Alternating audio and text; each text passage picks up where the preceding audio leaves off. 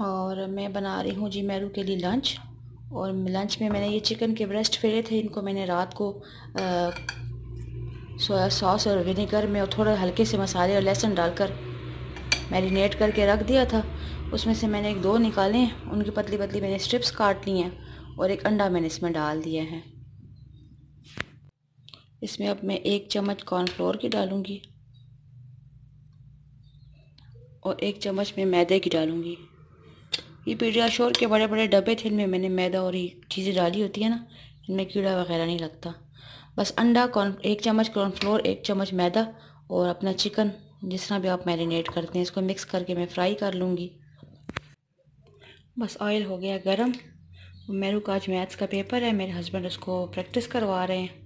दो बड़े बच्चों को तो उन्होंने नहीं करवाई और ये छोटी है ना, ये मैंने बाप के हवाले की हुई है, मैंने इसको करवाया करें। कि अब मेरे पास इतना टाइम नहीं होता। बस ये स्ट्रिप्स में नॉर्मल से देखें कितने मज़े के ये फ्राई हो रहे हैं ना। और चाय भी मेरी बन रही है सुबह का टाइम है ये देखिए मेरे अपने चिकन के मज़ेदार किस्म के स्टिप्स कितने क्रिस्पी बन गए। एक आलू मोटा सा था, उसका मैंने चिप्स भी बना लिए। बस मेरू का लंच रेडी हो गया।